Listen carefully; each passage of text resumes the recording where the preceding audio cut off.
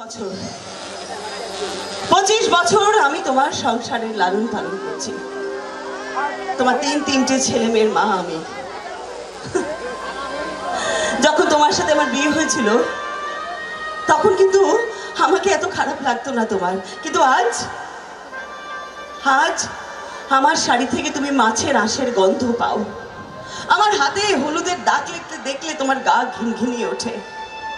আমাকে নিয়ে তুমি সমাজে বেরোতে পারো না। তোমার মনে হয় আমি অতটা শিক্ষিতা নই। আমি ভালো করে ইংরেজি বলতে পারি না। তাই আজ তোমার আর আমাকে পছন্দ নয়। তোমার পছন্দ জুনকে। হ্যাঁ কেন পছন্দ হবে না?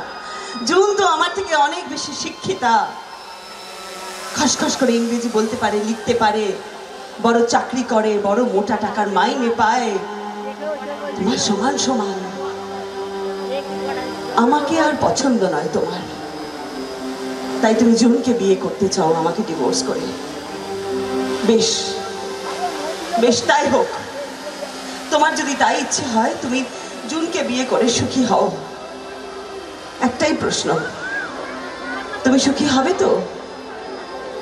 আমার তোমার থেকে কোনো চাহিদা নেই। কোনো চাহিদা নেই। তবে তুমি আমার তিন সন্তানের বাবা। তাই আমার সন্তানরা তোমাকে যতদিন চাইবে চাইবে, আমি তাদের কোনোদিনও আটকাবো না। তোমার কাছে যেতে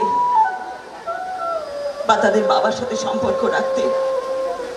অনেক করেছি। গত পঁচিশ বছর ধরে অনেক করেছি সংসারের জন্যে। কিন্তু তার বিনিময়ে কিচ্ছু পাইনি।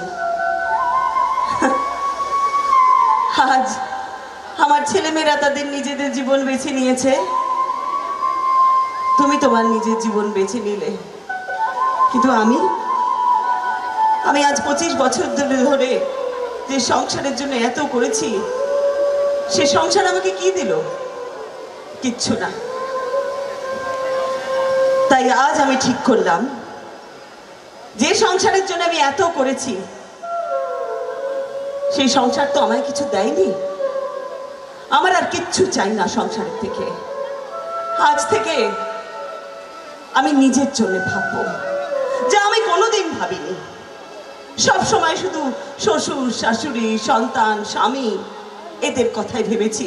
কিন্তু আজ প্রথমবার আমি নিজের জন্য ভাববো। এখন থেকে আমি শুধুমাত্র এই সংসারের জন্য নয়, শুধুমাত্র অনিন্দ সেনগুপ্তর জন্য নয়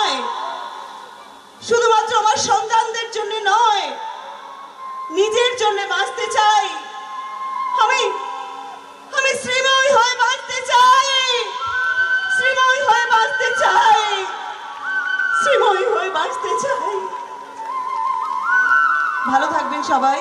অসাধারণ অসাধারণ ফাটাফাড়ি এই ফিলিংসটা এই ফিলিংসটা যতদিন প্রত্যেকটা মেয়ের মধ্যে থাকবে ততদিন আমাদের সমাজে কখনো মেয়েরা কলঙ্কিত হবে না আর কখনো আমি একটা কথা বলব। সংসার সন্তান শ্বশুর শাশুড়ি দায়িত্ব পালন সবই ঠিক আছে। কিন্তু কোথাও কোথাও এইসব করতে করতে আমরা নিজেদের সত্তাটাকে ভুলে যাই। সেটা বোধহয় উচিত নয়। সব দায়িত্ব পালন করেও নিজের জন্যও পাঁচটা মিনিট সময় দেওয়া যায়। যেটা আগে আমাদের মা, দিদিমারা চিন্তা করতেন না, কিন্তু আমরা এখনকার মেয়েরা সেটা চিন্তা করি।